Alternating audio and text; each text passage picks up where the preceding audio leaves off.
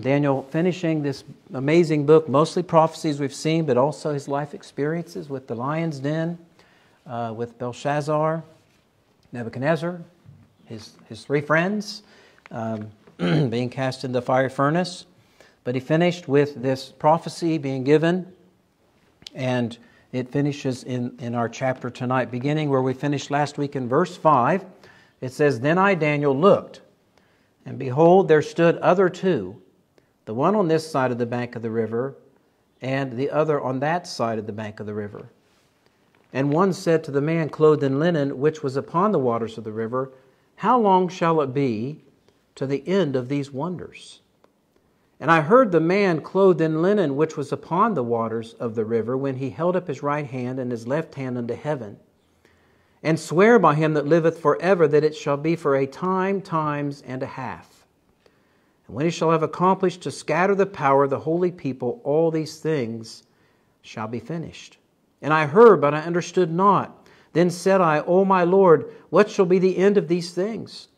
And he said, Go thy way, Daniel, for the words are closed up and sealed till the time of the end.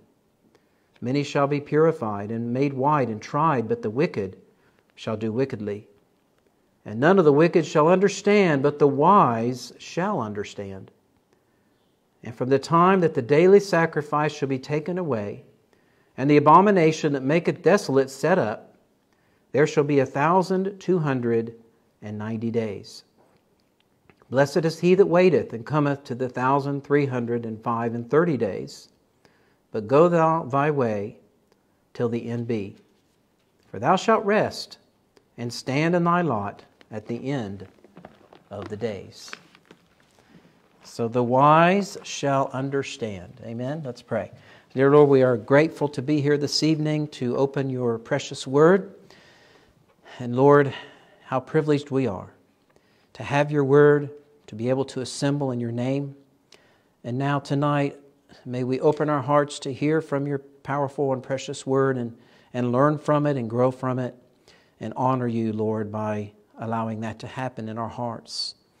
Guide us in your truth. Bless our time in your word. We give it to you. In Jesus' name we pray. Amen. What a beautiful ending to the book. A reminder about the tribulation period, but also a reminder that those who trust Jesus Christ, we win. That's a good ending, isn't it? Because it is the ending. So, as it says there in verse 6, the question was, what will be the end of the wonders? The wonders that we've been reading about. The wonders of the Antichrist working miracles, deceiving the world into worshiping the image of the beast, into taking the mark of the beast, worshiping the Antichrist. What, when will all this end? He said. And he laid it out for us that basically from the time that, that he steps into the temple as God, which is the halfway point, from that time to the end is three and a half years. And he even gave us the number of days. But he said there in verse 7 a time, a times and a half. That's three and a half years from the middle until the end of the tribulation period. We saw that in chapter 7. Go back there if you would. Chapter 7, verse 25.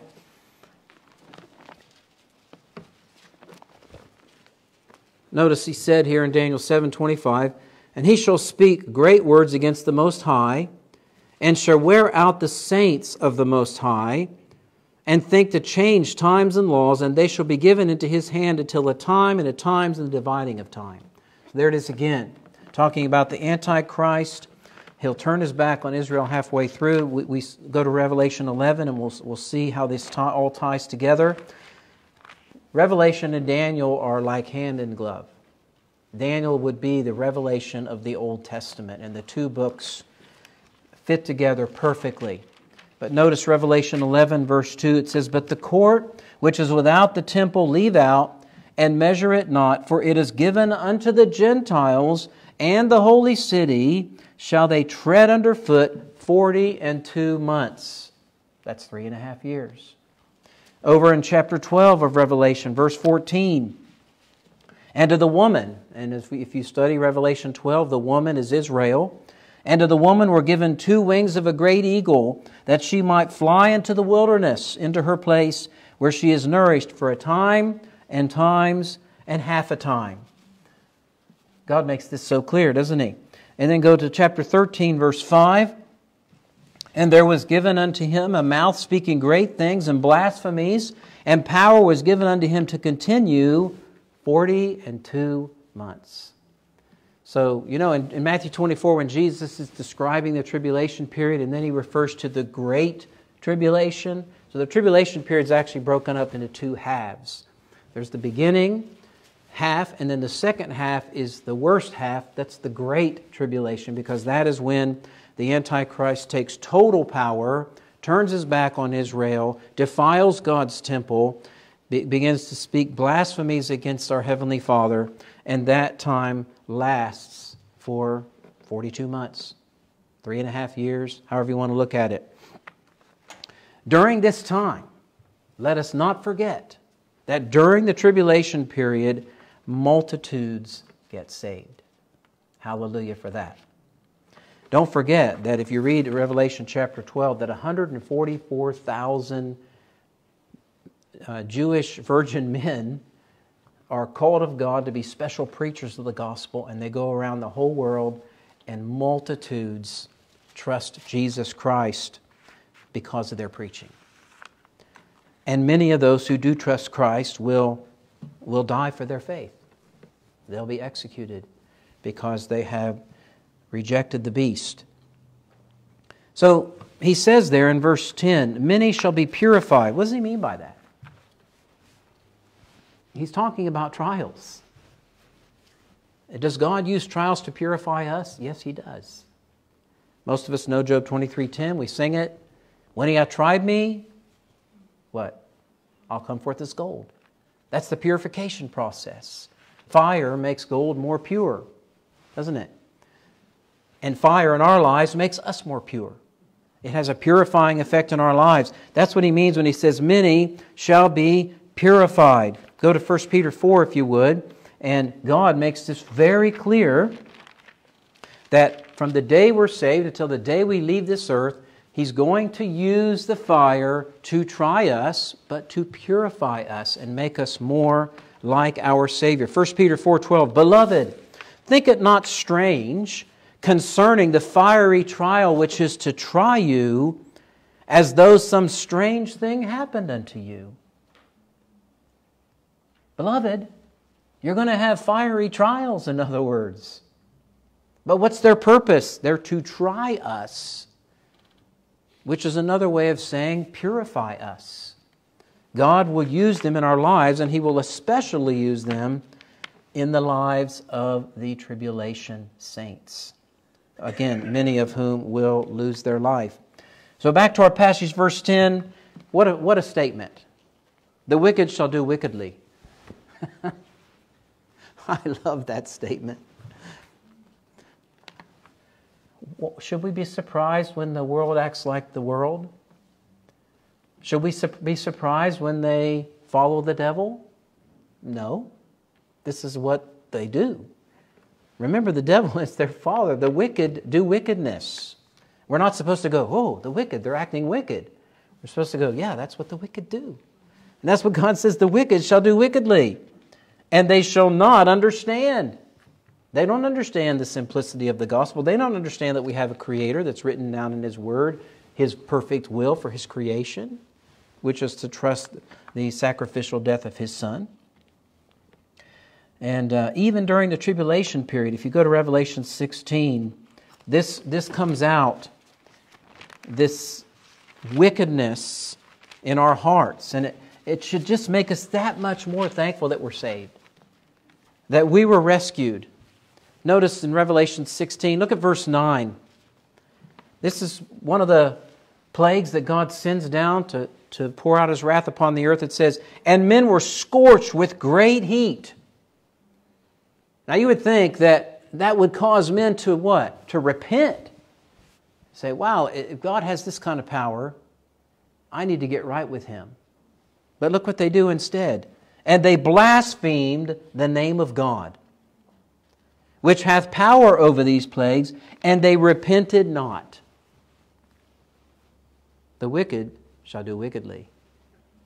And all of these trials are not what's going to convince them all these plagues and horrible things that will happen. That's not what's going to convince them to turn to God. It's only going to be the preaching of the gospel of Jesus Christ, just like today. But instead of repent, look at verse 11, same chapter says, And they blasphemed the God of heaven because of their pangs and their sores and repented not. God just keeps pouring it out, and man just blasphemes and doesn't repent. But the contrast is that the wise shall understand. The wise shall understand. Let's look at that in Revelation 7.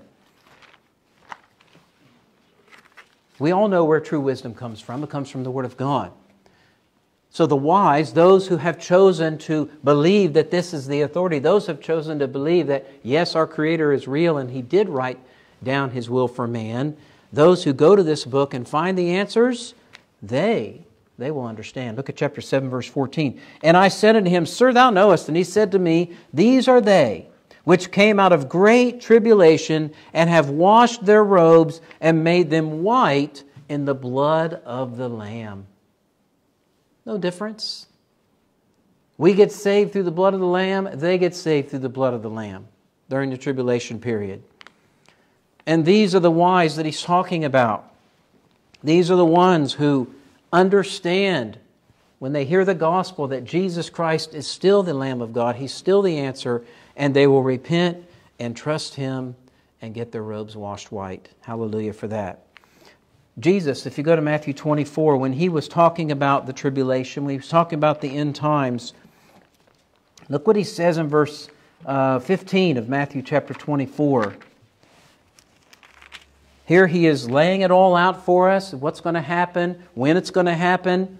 Here in Matthew 24 and down to verse 15, he says, When ye therefore shall see the abomination of desolation spoken of by Daniel the prophet. So he says, When you see what Daniel prophesied of 600 years prior to Jesus saying this, when you see it, 2,000 years or more in the future, that, that the Antichrist will actually step into the temple in Jerusalem, claim to be God, and essentially desecrate God's temple. When you see that happen, what's he say? Stand in the holy place, parentheses, whoso readeth, let him understand. Whoso readeth what? This. That God laid it all out. So he's given people in the tribulation a, a owner's manual, if you will, of what to do.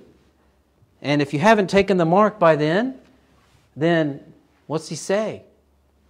Read the Word of God, believe the gospel, and get saved through the blood of the Lamb, just like we do. But God says the wise, those are the ones who turn to the Lamb for their salvation, they will understand. They will say, aha, it's in here. They'll understand what's going on. They'll, they'll, they'll be able to say what the next plague is because it's all written down. They will have a complete understanding of what's going to happen when they find themselves in the middle of this horrible time called the tribulation period. But he says, he finishes here in Daniel 12 by saying in verse 13, Go thy way till the end be. Daniel, you are going to rest. In other words, won't be long. By the time Daniel wrote chapter 12, he's in his late 80s. Now, we don't know when he died because the Bible doesn't tell us, but he probably didn't live much further. And he said, Daniel, you're about to, you're about to come to the place of rest, which is, of course, heaven, and you will get to see this happen you will get to see the end come. Well, it still hasn't come. But to me, it's fascinating this rest that he talks about. God, I, God promises you and I this same rest in Hebrews. Uh, chapter, we'll turn there, Hebrews 4 3. He calls it a rest. And this, a lot of Christians don't get this. They think, oh, you know, I'm here to rest. No, you're here to work. This is the time, this time on earth is the time to work. Work for the night is coming. Right? We sing that. Jesus said, I must work the works of him that sent me while it is day, the night cometh when no man can work. He's referring to the tribulation period when it's not like the church age. Um, the time, to, what to do now is to work because pretty soon it'll be a time of rest. And he talks about that here in Hebrews 4, um, verse 2 For unto us was the gospel preached, as well as unto them, but the word preached did not profit them, talking about the Jews, not being mixed with faith in them that heard it. For we which have believed do enter into rest. As he said, As I've sworn in my wrath, if they shall enter into my rest, although the works were finished from the foundation of the world. Heaven will be a place where we don't have to strive with the devil, strive with the world, strive with the flesh. Won't that be wonderful? The place of rest. But thinking about Daniel, that God actually sent these angels specifically to talk to Daniel to give us these prophecies. And he said, Daniel, I want you to seal some of it up until the end. If you go to Ezekiel 14 14, I want to show you a very interesting truth here. Now, this, remember, this is God speaking, Ezekiel 14 14. And God here is talking about man finding God, man finding salvation through God. And he's talking about being delivered. But look what he says, Ezekiel 14 14. Though these three men, God actually names three men. He says Noah, Daniel, and Job. Though they were in it, they should deliver but their own souls. In other words, those men were amazing men, so amazing that God pointed them out Noah, Daniel, and Job.